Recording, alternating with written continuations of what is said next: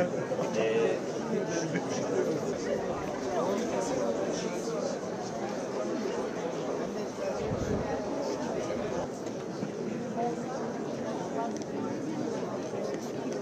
Kendileri ruhları için bilhassa Allah rızası için. El Fatiha. Elhamdülillahi Rabb. Sizler kendilerini yakinen tanıyanları bilenleri olarak iyi birer insan Müslüman olduklarına şahitlik eder misiniz? Ederiz. Dünyevi, uhrevi, maddi, manevi, insani, İslami bütün haklarınızı helal ediniz. Bir deyin helal ediniz. Lütfen helal ediniz. Rabbim- Allahu Ekber. Esselamu Aleyküm ve Rahmetullah. Esselamu Aleyküm ve Rahmetullah. Rıza lillah. El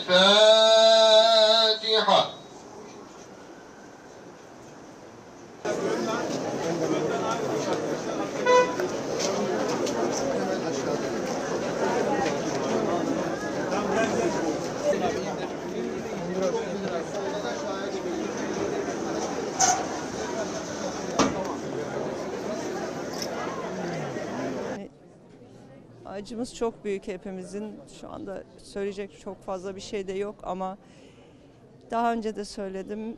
Haluk daha iyi bir yere gitti. Ondan hiç şüphem yok. Ee, Bundan sonra da anılarımızda yaşayacak. Hiçbir zaman da ismi kaybolmayacak. Ee, Herkesin çok sevdiği, dünyada da tanınan büyük bir sanatçıydı. Sadece sanatçılığıyla değil de kişiliğiyle de herkesin hayatına dokunan, dokunduğu insanların içindeki ışığı da çıkaran bir yönü vardı ve bu hep yaşayacak. Herkes Haluk'u çok iyi hatırlayacaktır. Benim için büyük kayıp. Aslında bir anlamda kayıp değil, kazancım da var. Teşekkürler.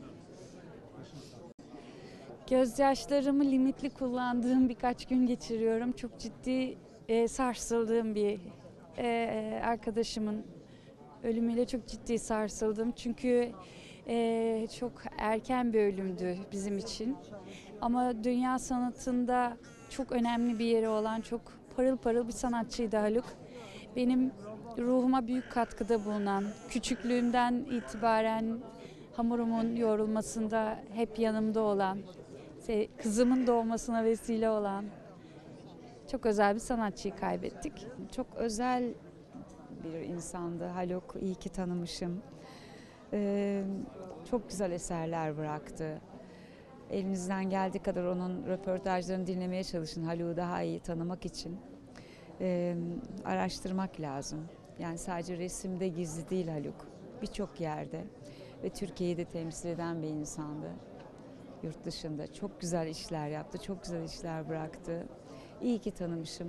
Özel, özgün, özgür bir insandı.